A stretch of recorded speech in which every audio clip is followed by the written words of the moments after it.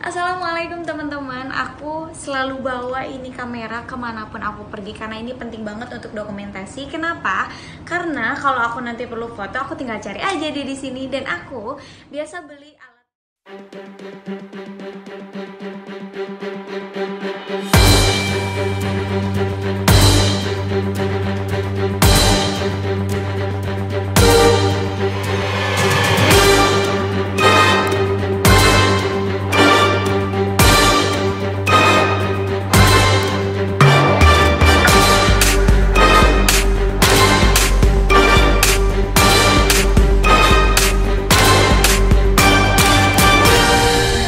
Sepasang kekasih muda mega bintang fenomenal Rizky Bilar dan Lesti Kejora hari ini akan melengkapi dokumen pernikahan di KUA Kebayoran Lama.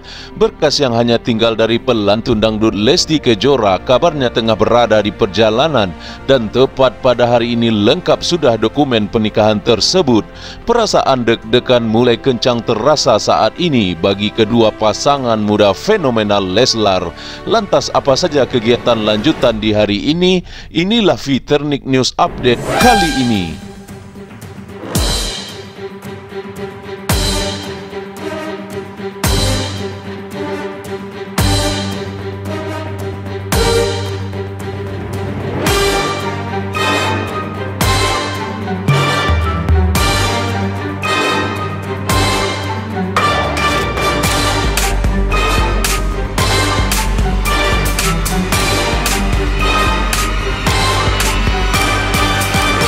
Ada tiga informasi penting dari sepasang kekasih muda Rizky Bilar dan Lesti Kejora di hari ini 4 Agustus 2021 mengenai serangkaian hajatan pernikahan yang akan dilaksanakan pertengahan Agustus mendatang.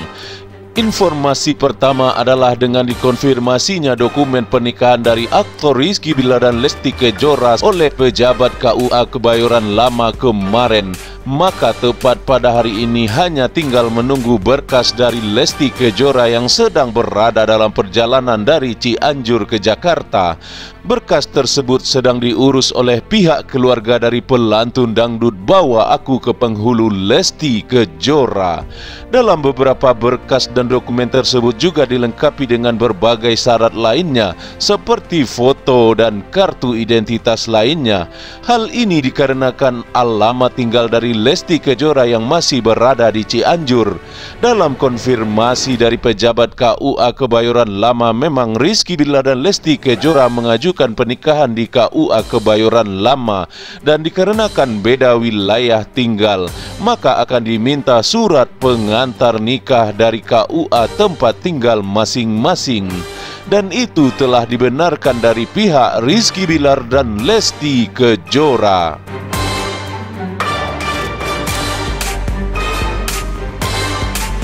Dari beberapa bocoran awak media di lapangan didapati bahawa pengajuan berkas nikah tersebut dikarenakan dengan tidak adanya kepastian kapan PPKM darurat akan berhenti atau dilonggarkan.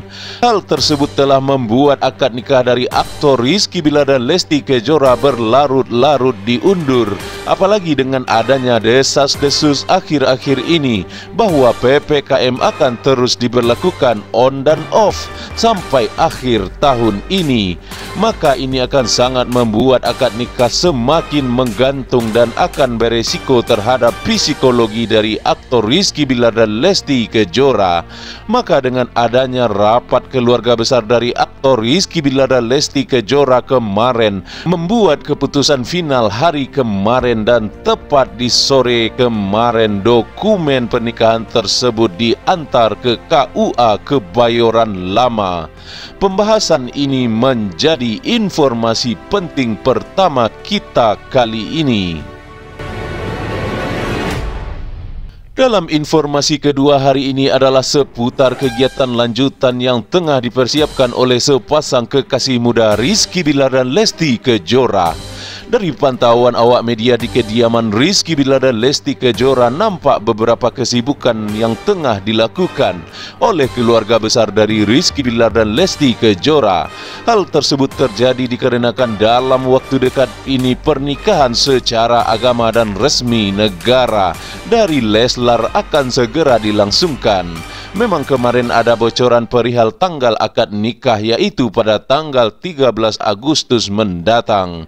Namun hal tersebut masih menjadi pertimbangan dari pihak KUA Kebayoran Lama dan juga dari pihak keluarga besar Rizky Wilar dan Lesti Kejora. Semua bisa terrealisasi nantinya jika tidak ada aral yang melintang. Itulah harapannya. Namun hari ini masuk lagi bocoran opsi lain dari tanggal tersebut yaitu pada tanggal 27 Agustus 2021. Ini juga masih berada dalam hari Jumat yang berkah karena aktor Rizky Billar adalah seorang yang idealis dan seorang pemegang prinsip hidup. Jadi apa yang telah menjadi prinsip hidup tidak akan pernah dilanggar oleh Rizky Bilar seperti perkataan yang sering diucapkannya. Maka dengan demikian akad nikah akan tetap dilaksanakan pada hari Jumat dan itulah dan itulah prinsip yang pernah diucapkan oleh Rizky Bilar.